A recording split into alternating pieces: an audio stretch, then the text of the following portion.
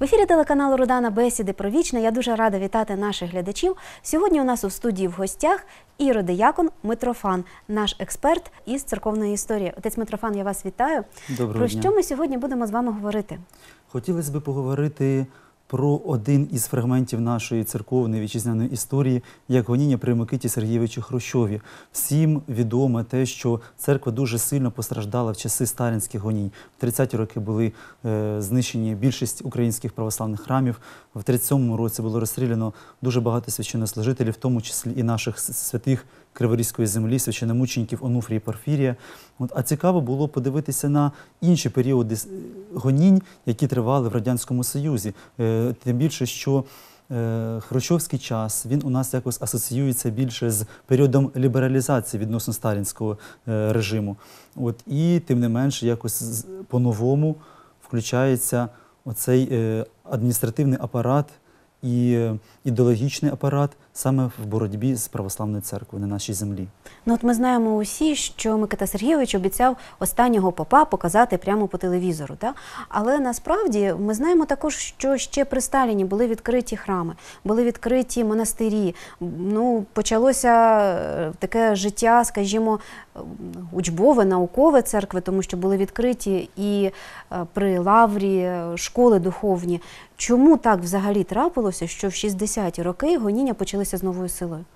Треба сказати, що як ви бачимо, певна еволюція в ідеологічній сфері, в тому числі стосовно церкви, відбулася в позиції самого Йосипа Вісаріоновича Сталіна, тому що ми знаємо, що він був таким прихильником е, також повної ліквідації православної церкви, але в часи Великої вітчизняної війни, коли церква брала на себе роль лазаретів, так яка доглядає церква доглядала за людьми, які отримали поранення. В монастирях відкривалися шпиталі. Коли церква на свої власні кошти, які вона збирала, здавала там якісь цінності, які залишилися, відкривала танкові дивізії, літаки будувала своїм коштом. Звичайно, що також е, потребувала радянська влада і в певній ідеологічній підтримці, так, коли церква молиться за е, перемогу радянського війська. Крім того, церква освячила своєю молитвою мученицький подвиг і е, подвиг воїнів, які воювали. Вона надихала людей. І тим більше, е, коли велика територія України була захвачена, і німці також е, для того, щоб е, якось. Привернути, Заручитися мабуть. підтримкою так місцевого населення, вони також відкривали православні храми. Звичайно, що це викликало якусь симпатію серед місцевого населення. І на противагу цьому радянська влада також починає більш лояльно ставитися до церкви. Тим більше ми пам'ятаємо, що у 1943 році був скликаний архірейський собор, коли буквально зі сталінських лагерів були е, привезені архієреї, священики, і буквально за кілька днів був обраний патріарх нашої Ага. церкви. І е, тоді вже починається якраз з 43-го року певний якби. е. Перелом, перелом так у відносинах держави до православної церкви. І звичайно, що з огляду на таку патріотичну позицію церкви в роки вітчизняної війни, по її завершенню, також якби Сталін уже не наважився щось змінювати у своїй політиці. Звичайно, що говорити про те, що держава стала союзником церкви, чи е, говорити про те, що держава змінила своє відношення, ні. Але е, тим не менше віруючих вже ніхто не чіпав, ніяких гонін на них не було. Звичайно, що ніякої місіонерської діяльності ніхто не намагався навіть провадити, щоб церква, наприклад, мала доступ у школу, щоб вона мала якось е, Проповідувати, проповідувати слово Христове так. Але тим не менше, е, якби статус-кво зберігався. Церкви були ті, що відкриті, вони залишалися, і старенькі бабусі могли до них ходити. Ось якби той те, що ми мали до початку правління Микити Сергійовича Хрущова. За що так розгнівався Хрущов? Чому він почав гоніння? А тут можна сказати, що е, в загальній політиці Хрущова е, десталінізація. Тобто все, що було зроблено Сталіном, це погано. Звичайно, що ми бачимо якісь певні позитивні зрушення в тому, що при Хрущові е, іде такий процес е, реабілітації всіх тих, хто був репресований сталінським режимом, і не лише е, серед них були е, політичні, так, е, такі якби політичні в'язні, але в тому числі і духовенство, наше православне духовенство. От. Але тим не менше, оскільки саме при Сталіні церква отримала якусь легальну. Якесь легальне існування, Становище. Становище так в радянському союзі, то значить треба було все зробити навпаки, щоб якось відрізнятися від сталінського режиму. І тим більше ми можемо сказати, що були для цього і певні передумови. Так, е, в суспільстві е, виросла довіра до радянської влади. Якщо, наприклад, на 30-ті роки довіра до радянської влади була взагалі ніяка, і навпаки були е, широкі протестні заворушення з огляду на голодомори, з огляду на ті війни, які проводилися, Мгм. то На зараз це все забулося. Це все забулося. І е, на підйомі перемоги у Великій Вітчизняній війні, Мгм. звичайно, що все населення, народ він згуртувався навколо навколо влади, так яка була проводирем цій перемозі, яка якби, цю перемогу можна сказати і якби організовувала так через руки бійців. От і е, можемо також сказати, що Хрущовський час це час великих е, будівництв в радянському Союзі. Це перший політ у космос Юрія Гагаріна, наприклад. І звичайно, що патріотичний підйом, е, віра в науку, яка все може зробити, все може перетворити. І що, звичайно, що на цьому фоні ідеологічна пропаганда вона показувала, що насправді те, що ви вірите, це все релігійні забобони, які просто гальмують наш подальший розвиток. І суспільство воно було все налаштовано на підтримку тієї політики, яке було е, проваджено саме. Е, за Микити Хрущова. Тим більше, що в цей період до 60-х років, е, в принципі, виростає нове покоління. Покоління, яке не знало тих репресій. Старі люди, вони про них не говорили ніколи. Вони були залякані ще в ті роки, і, звичайно, що про репресії всі мовчали, ніхто нічого відкрито не міг сказати. Навіть вдома про це боялися говорити. Так. От. А молоде покоління, воно вже того всього не знало, не бачило, не пам'ятало. І, звичайно, що воно може навіть ніколи в житті не чуло слово церква, Бог в такому якомусь позитивному сенсі, а лише в негативному, негативній якості. От. І, звичайно, що в таких умовах можна було здійснювати новий наступ на православну церкву. Ну, чим вирізнялися ті гоніння? Чи відрізнялися вони, скажімо так, від сталінських? Чи були якісь нові методи тиску на церкву? От в чому особливість? Тут можна сказати, що звичайно, що е, Радянський Союз намагався на міжнародній арені виглядати якимось таким от позитивним е, утворенням. Звичайно, що хотіли показати переваги соціалістичного устрою перед капіталістичним, буржуазним. От і е, так само, як у нас не було політичних в'язнів, але всіх цих людей сажали у психічні лікарні. Е, Так само у нас, в принципі, не було ніяких гонінь. Наприклад, якщо е, треба було закрити е, навчальний заклад, духовний, духовну семінарію чи академію, то е, проводилася робота на місцях. Все одно треба було отримати довідку з місця проживання, рекомендацію від священика для вступу до цієї семінарії або академії.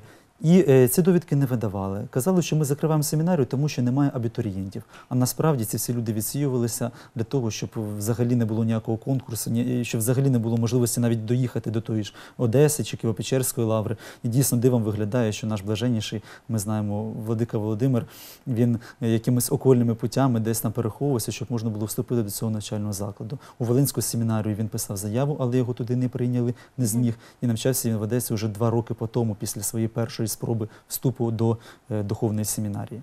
Ну, от ми знаємо, багато священиків, навіть криворізьких тих старого часу, розповідали про от подібні проблеми, про те, що вони не могли взяти довідки, особливо ті, хто жив у сільській місцевості. А у містах, от у великих містах, чи була якась різниця, чи ні? Звичайно, що була. Е, Цих людей, знаєте, як е, намагалися всіляко спочатку залучити, ну ви ж патріоти, значить ви повинні вступати у комсомол, у партійні організації. А потім, коли ці люди це робили такий крок і вже намагалися знову поступити, кажуть, ну як, ви ж комсомольці, ви ж комуністи, як ви можете тепер зраджувати партію і вступати? Значить, ви не патріоти, значить ви там е, приспішники е, якихось зовнішніх сил. От таким чином боролися. Ще одним методом тиску на православну церкву було підвищене оподаткування церковного життя. Е, Дуже великі податки накладалися на самі церкви. За підвищеними тарифами вони сплачували за споживання електроенергії, за водопостачання. Також обкладалися податком виготовлення свічок, а саме з- свічкова торгівля вона була якби основною статтею доходу. Приходського. Так, Ну, і- власне, сьогодні так говорять, Да, що да. свічки це основне. але зараз доход. ще в принципі церква може жити за рахунок своєї видавничої діяльності, а про це в радянський час ніякої мови не, не могло бути, про тому що це була вже якби агітація контрреволюційна е, офіційно. Тому лише якби за, за рахунок свічок і таких добровольних добровільних внесків люди могли якось е, підтримувати церковне життя. І оце також було одним із ударів е, по церковно-релігійному життю, тому що дуже багато церков не втримали цього податкового тиску, фінансового Мгм. тиску, і в малих поселеннях е, закривалися взагалі церкви. А якщо у якомусь е, місті було кілька церков, то залишалася, наприклад, лише одна церква. Крім того, звичайно, що тиск чинився і на самих священнослужителів. Ще в 20-30-ті роки. У середовищі священнослужителів запроваджувалися інформатори, е, певні агенти, от, які могли б там проводити певну якусь інформацію, розповідати радянським органам влади або б якусь певну політику проводити в церковному середовищі. От, і е, на цей час ці люди вже були такого пов- поважного віку, от, вони вже мали певний стаж, можливо, церковні нагороди. І за командою партійних осередків вони повинні були просто виходити з церкви.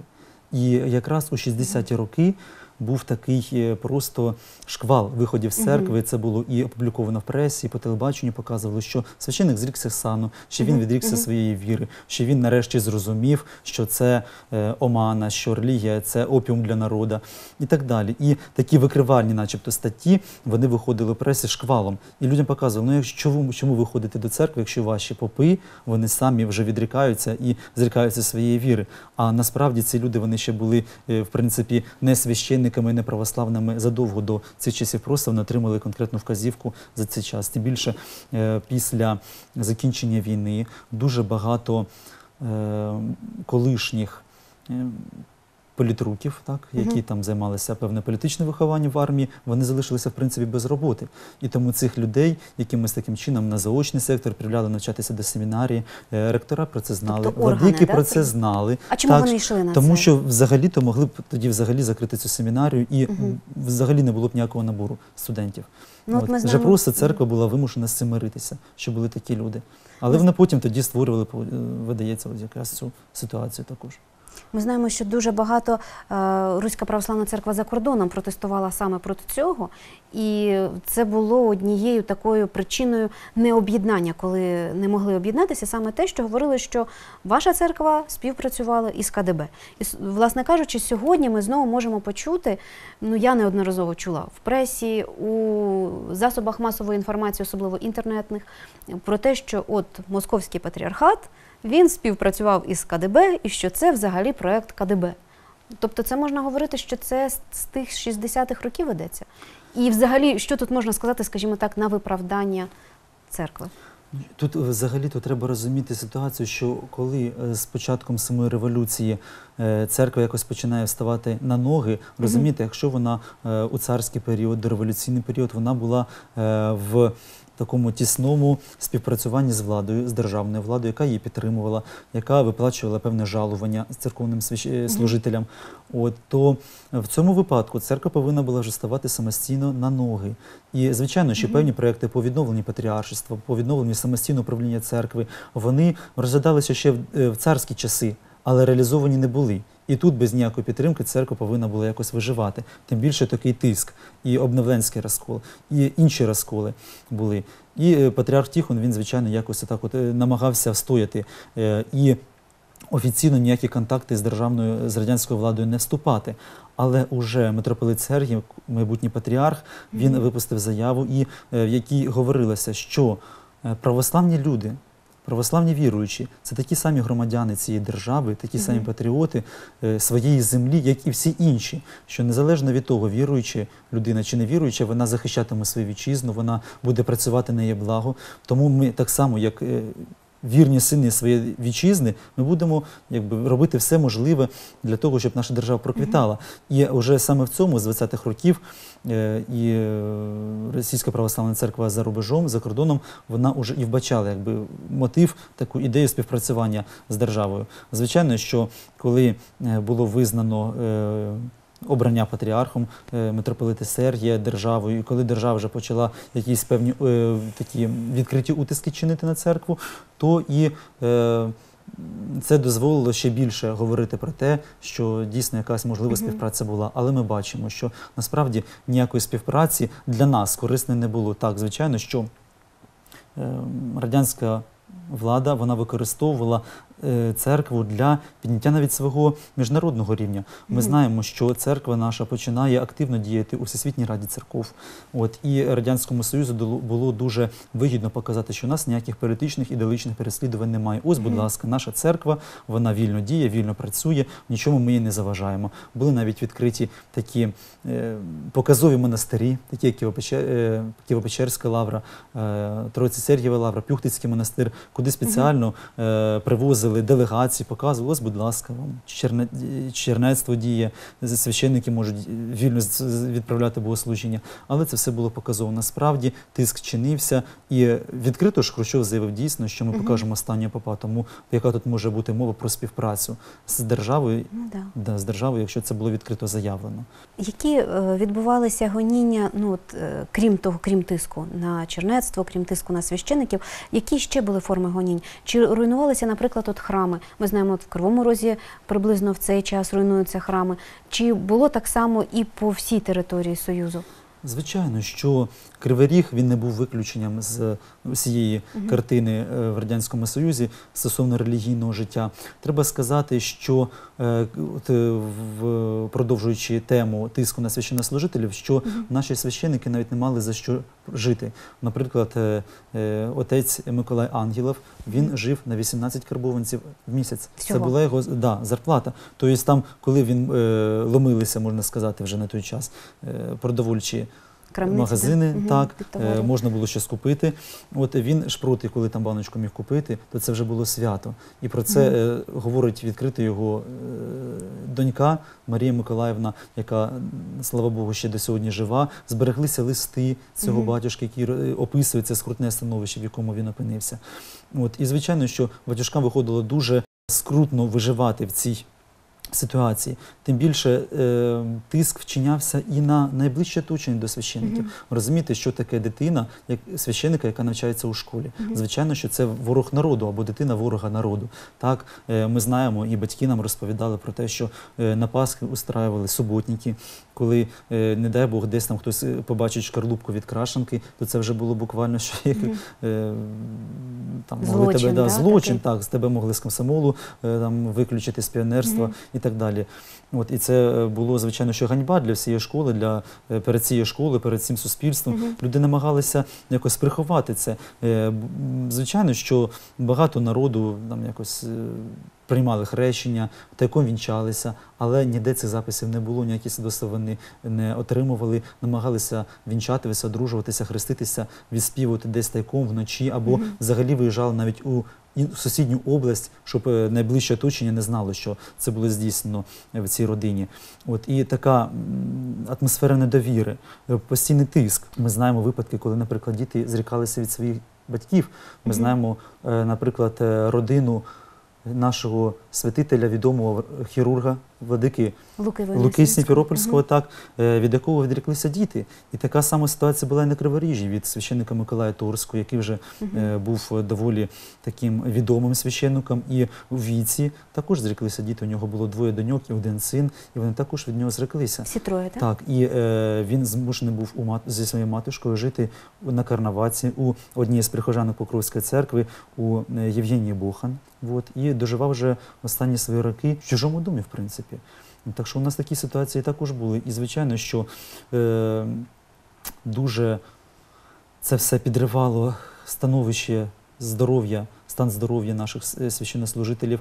Вони вже, е, пройшовши сталінські репресії, пройшовши е, часи війни, е, можливо, навіть не мали певних якихось сил уже якось чинити спротив уже і закриттю храмів, які е, відбувалися в 60-ті роки на Криворіжжі. Давайте нагадаємо, які храми от наші криворізькі постраждали саме в цей період. Було взірвано у цей час чотири криворізькі храми. Ш- 1963 році була зруйнована церква святителя Миколая Чудотворця на вечірньому куті. У 1964 році було зруйновано аж дві церкви православні. Це Олександро-Невська церква на Краматоровці і наша Покровська Карнавацька церква, яка була відома як окраса дійсно всього краю е, величезної Херсонської губернії, Катеринославської губернії. От вона також була зруйно- зруйнована у 1964 році. І е, звичайно, що тут також цікаві певні етапи закриття цих храмів. Е, Спочатку планувалося в цьому храмі, в Покровському, якому, який цього року якраз відзначає 130 років з дня заснування і 50 років від дня своєї руйнації. Е, Ця церква, коли була закрита, вона, звичайно, була також закрита без згоди віруючих. Цікаво, що коли ми пробували знайти якісь відгуки у нашій місцевій газеті Червоний гірник стосовно цього, тому що думали, що це така резонансна подія, яка повинна була освітлювати якісь схвальні відгуки мати серед населення. Насправді все це було замовчено. Продивилися 60 за 60-ті роки всі випуски газети, жодного такого якби заголовка не було про те, що закрита церква. Навіть якщо б вони го- говорили у якомусь негативному ключі про церкву, все одно воно якось би пройшло е, тобто під- такого- перед очами людей. Так. Тобто такого, як у 30-ті, коли закривали Миколаївську церкву і було багато публікацій, такого не було. Такого да? не було, все було зроблено тишком-нишком, щоб населення не обурювалося і щоб якомога менше людей про це знало. Але ж брали участь навіть студенти у руйнуванні. Так, так. Ну спочатку це було не руйнування, а е, планувалося у цьому приміщенні відкрити антирелігійний музей, музей атеїзму. От. Ну, звичайно, що будівля зберігається. В принципі, як це було зроблено у багатьох е, Мгм. храмах, е, той самий відомий е, органний зал у Дніпропетровську, Мгм. так, Брянська церква. Приміщення збереглося, і цей шедевр архітектури він до наших днів дійшов. В принципі, така доля могла б спіткати і нашу Покровську церкву. І так планувалося відкрити там музей атеїзму. Звичайно, що для цього були зняти всі хрести, якісь такі позбивати, щоб воно не нагадувало про колишнє культове призначення цієї будівлі. І для цього були запрошені наші е, студенти з гірничого інституту. От, е, але після того, коли були зняті хрести, були зняті демонтовані куполи, е, в такому стані храм простояв ще два роки. От, і пізніше обслідування показало, що в лапках, що храм не пристосований, що він в аварійному стані, і що вже якби він може являє в собі Небезпеку просто небезпеку да? для відвідувачів. Так і було е, вирішено просто цей храм е, ліквідувати, знести. Тим більше, що він нібито заважав для розвитку транспортної артерії Кривого Рогу. Хоча насам, насправді ми розуміємо, що в Карнаватці це ніякої транспортної артер- артерії не могло бути, тому що Карнаватка виходить з зону рудників, наших кар'єрів, і ніякої там лінії не могло бути д- а, дорожньої. Тому це просто були якби лише приводи для Мгм. руйнування цієї церкви. Те саме, в принципі, було зроблено і з іншими церквами, про які ми ще не сказали на Криворіжжі, які були Як зруйновані. довго такий стан тривав іще? Е, Цей стан тривав до е, початку правління Брежнєва Леоніда Ілліча. Е, Ми знаємо, що Хрущов зі своєю політикою десталінізації він дратував деяких членів партії. Звичайно, що вони якби е, намагалися відійти від цієї політики і повернутися до старого. Але що стосується церкви, то було прийнято таке рішення, що ніяких переслідувань вже немає. Тобто церква якби залишається в тому статусі, в тому стані, в якому вона є на даний час.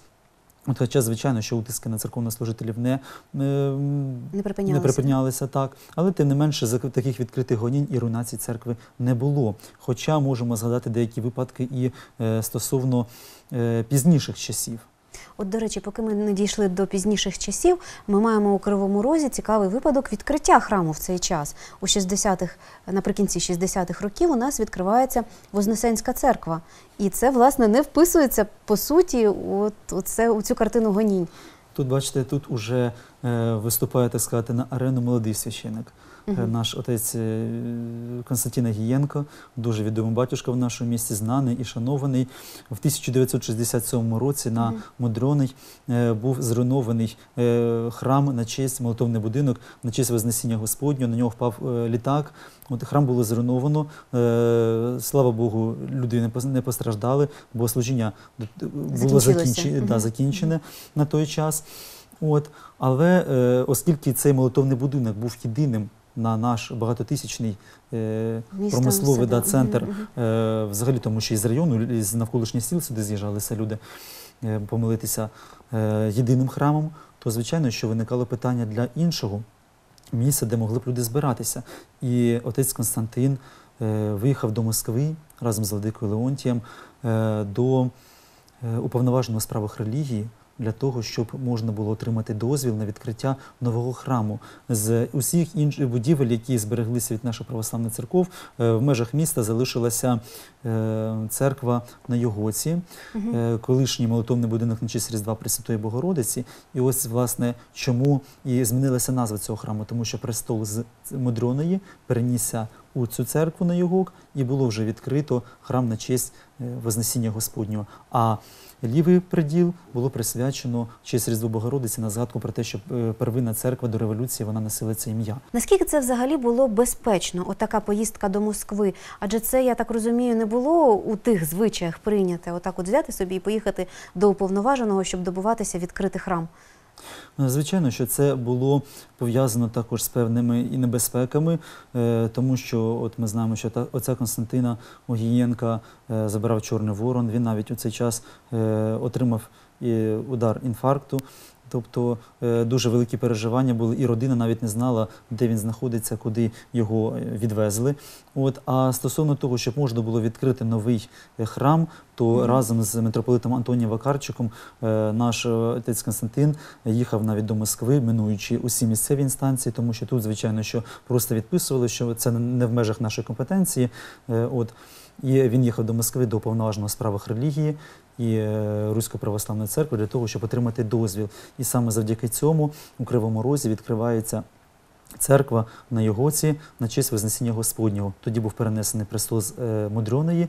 От, а на згадку про те, що цей храм носив ім'я Різдва Пресвятої Богородиці, було відкрито приділ у лівій частині храму. Чи були подібні е, приклади, скажімо, відкриття е, церков нових в цей період? І взагалі, як розвивалося далі церковне життя ну, от в межах усього Союзу?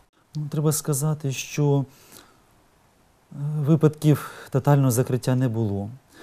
Звичайно, що були спроби закрити храми, але, от, наприклад, що стосувалося Пюхтицького монастиря, то була просто проведена екскурсія.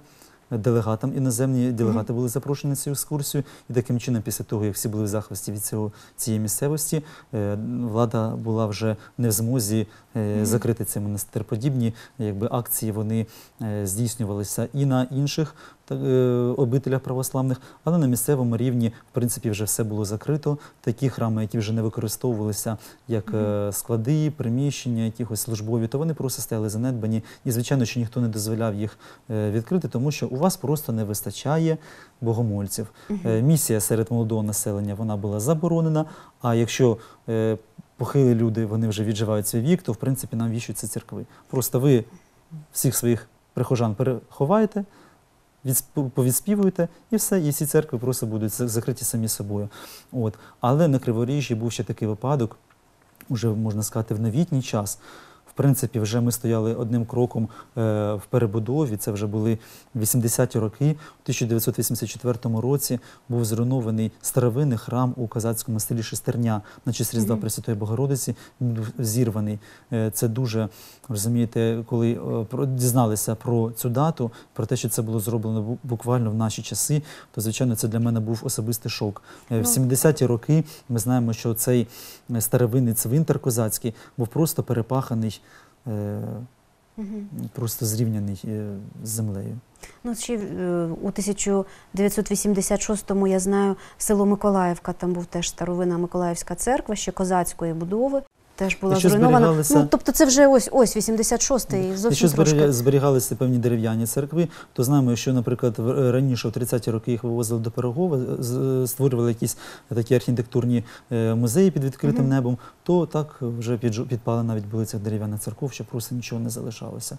От. І, в принципі, ця ситуація, коли православна церква була загнана у своєрідне гетто, Мгм. вона продовжувалася буквально до е, 1988 року. Тоді е, ЮНЕСКО ініціює святкування тисячоліття хрещення Русі.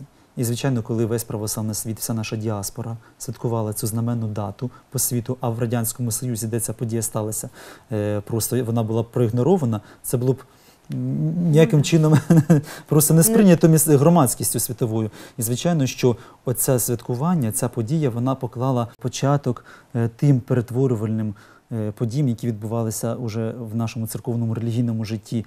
І звичайно, що проголошення незалежності України воно також відкрило нові перспективи для нашої церкви у своєму розвитку. Це е, безпрецедентний час, коли церква е, з одного боку не вбудована у державний організм, як це було зроблено в царські часи, і з іншого боку, православна церква не поставлена поза законом, як це відбувалося в радянському союзі. Церква отримала нарешті ту можливість свідчити про Христа. Е, Відкривати духовні навчальні заклади, недільні школи, е, свідчити про істини євангельські е, через засоби масової інформації. І ми будемо намагатися і сподіватися на те, що заклик Христа іти проповідувати всім народам, він буде достойно виконаний православним народом, не лише священниками, але і самими мирянами.